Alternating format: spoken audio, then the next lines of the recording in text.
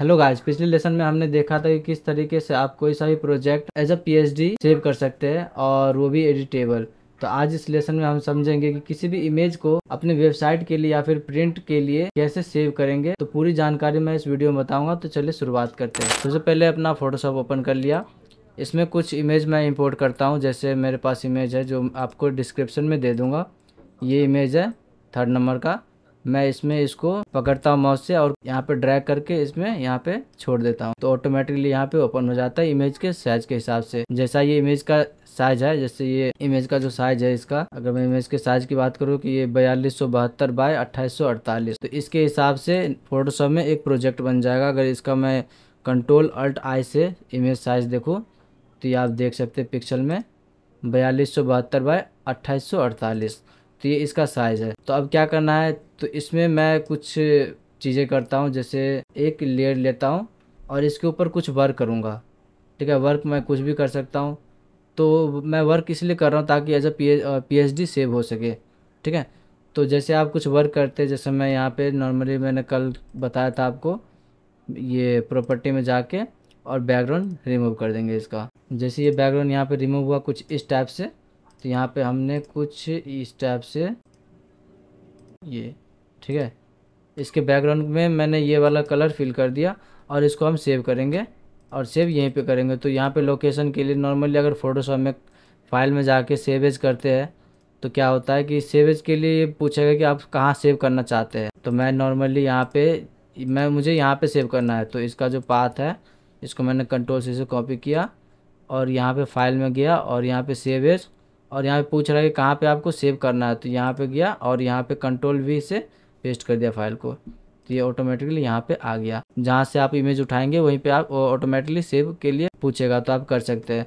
तो मैं यहाँ पे जो पीएचडी सेव करता हूँ पी एस थ्री के नाम से सेव करता हूँ एज अ पी और यहाँ पे ओके जैसे मैंने यहाँ पे पी सेव कर दिया, ये रहा मेरा पीएचडी जिसका जो बैकग्राउंड है, ये।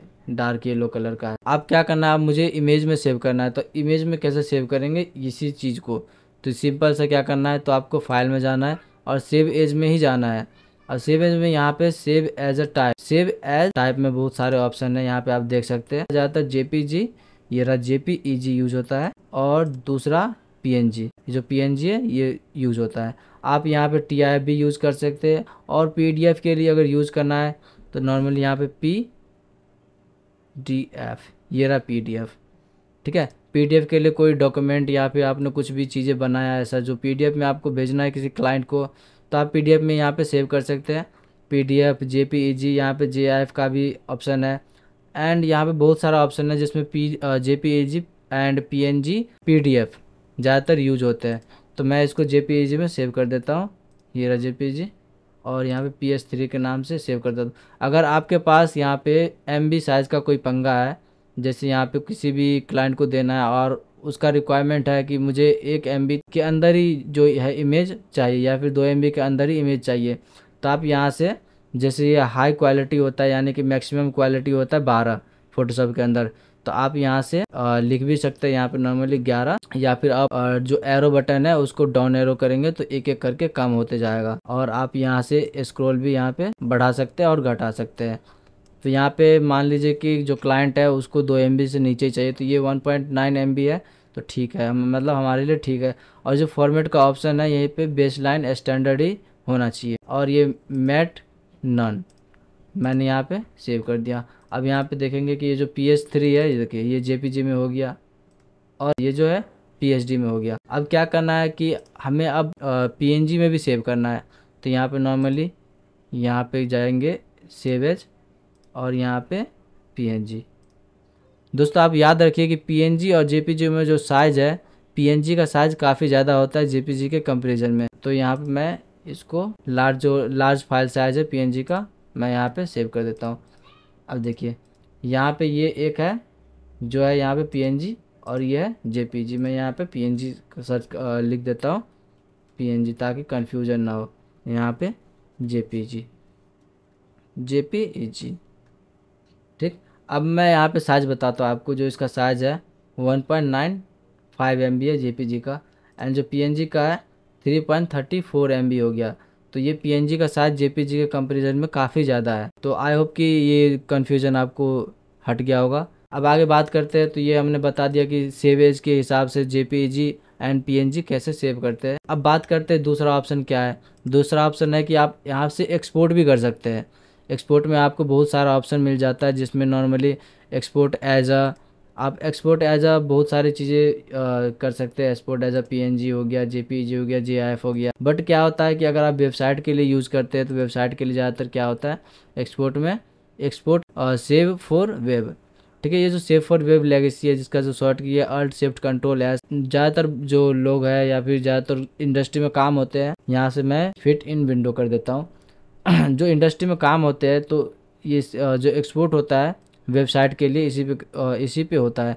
बिकॉज़ इसका रीज़न ये है कि जब वेबसाइट पे हम अपलोड करते हैं तो ये काफ़ी कम एमबी साइज़ में कुछ अच्छा क्वालिटी देता है। जैसे यहाँ पे fifty six point six K B का जो ये साइज़ है, बन गया है ऑटोमेटिकली ये जी में है तो इसको मैं चेंज करूँगा जे में। जेपीजी में मैंने चेंज कर दिया। अब इसका जो साइज़ है फिफ्टी सिक्स का जो साइज़ हो गया इसका। और यहाँ पे मैं इसको सेव करता हूँ। यहाँ पे ये साइज़ का भी है कि आप किस साइज़ में करते हैं। जैसे यहाँ पे बयालीस सौ बहत्तर इंटू अट्ठाईस सौ अड़तालीस का जो साइज़ है, इसको मैं नॉर्मली दो हज़ार यहाँ पे लिखता हूँ। और यहाँ पे आप देखिए, यहाँ पे जो रेशियो है ऑटोमेटिकली ये अरेंज हो गया है हाइट का। बिकॉज़ यहाँ पे जो ये है लिंक है। ये मैंने लिंक को ऑफ़ कर दिया, यानी कि लिंक को अनलिंक कर दिया। अगर मैं यहाँ से थ्री थाउज़ेंड डालूँगा, यहाँ पे थ्री थाउज़ेंड तो ये ऑटोमेटिकली क्या हो जाएगा, कुछ इस टाइप से स्ट्रेच हो जाएगा। इसलिए हम यहाँ पे लिंक रखते हैं, ताकि अगर हम इसको विर्थ को छेड़े तो इसके हिसाब से ऑटोमेटिकली हाइट अरेंज हो जाए। ठीक है तो मैं भूल गया कि कितना साइज़ था अपना बट कोई दिक्कत नहीं, ये ठीक है। अब मैं इसको सेव करता हूँ। नॉर्मली यहाँ पे सेव अब इसको लोकेशन देना है कि सेव कहाँ पे करना है आपको। कुछ इस टाइप से ही इसका सेव का प्रोसेस है। तो आप नॉर्मली जैसे मैं यहाँ पे डेस्कटॉप पे सेव करना चाहता हूँ, और डेस्कटॉप पे जो फ़ाइल बना था यहाँ पे कौन सा फ़ाइल था एक बार देख लेता हूँ। यहाँ पे ओपन फोटोशॉप वर्क स्पेस और यहाँ पे ये फ़ाइल था।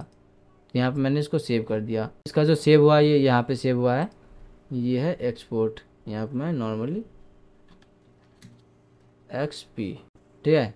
यहाँ पे एक्सपोर्ट यानी कि ये एक्सपोर्ट के ऑप्शन में जाके यहाँ पे एक्सपोर्ट किया हूँ as a four as a web ठीक है, वेबसाइट के लिए यहाँ पे इसको एक्सपोर्ट किया हूँ। तो इसका जो साइज़ है, तीन सौ एक के बी का यानी कि थ्री हंड्रेड वन के का है। और जो ये पी एन जी का साइज़ है three point thirty four M B का है। और इसका जो साइज़ है one point ninety five M B का है। तो जब एक्सपोर्ट आप करते हैं तो आप देखिए कि कितना कम साइज़ हो गया। इसीलिए इसको वेबसाइट के लिए यूज़ करते हैं। अगर मैं यहाँ पे एक्सपोर्ट करूँगा export as a P N G तो यहाँ पे जे पी जी को हटा के यहाँ पे पी एन जी कर दूँगा। अब यहाँ पे देख सकते हैं आप, यहाँ पे मैं इसको लोड ले रहा थोड़ा सा क्योंकि ये काफ़ी ज़्यादा बड़ा इमेज है, इसीलिए थोड़ा सा लोड ले रहा है। अब ये लोड ले लिया, इसको मैं नॉर्मली फिट करता हूँ, ये रहा। अब यहाँ पे देखिए, इसमें दो ऑप्शन है पीएनजी का। एक पी एट है, एक पी फोर है। तो नॉर्मली आप पीएनजी में सेव करना चाहते हो तो यहाँ से आप कर सकते हैं पी में सेव अब यहाँ पे जैसे यहाँ पे जे है अब मैंने यहाँ पे PNG में सेव करना है तो PNG में यहाँ पे सेव कर दिया। जो साइज़ आपको चाहिए उस हिसाब से आप कर देंगे यहाँ पे। और जो इसका जो साइज़ है PNG में, मैंने बताया था पहले ही साइज़ जो काफ़ी बड़ा हो जाता है जे के हिसाब से।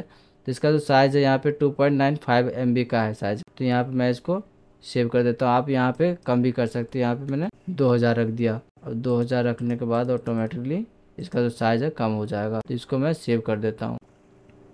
देखिए, इसका जो साइज़ हो गया है पाँच सौ नब्बे पॉइंट नाइन के का मैं जो नाम है पी एन जी एट रख दिया हूँ और ये सेव कर दिया हूँ।